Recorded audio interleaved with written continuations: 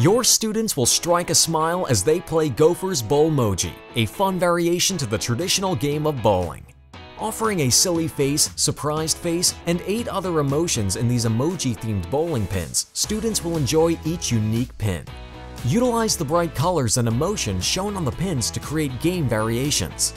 Get creative with different scoring systems to incorporate math, color, and emotion recognition, and encourage students to have accurate aim.